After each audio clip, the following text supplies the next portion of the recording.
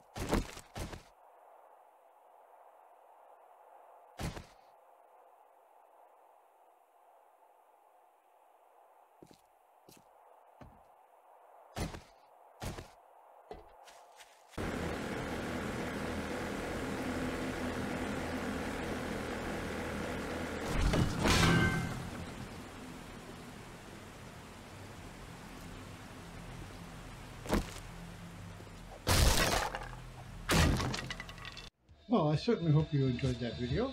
I want to thank you so much for watching.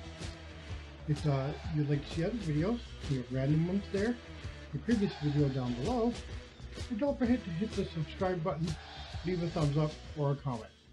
And as always, I'll see you when I see you.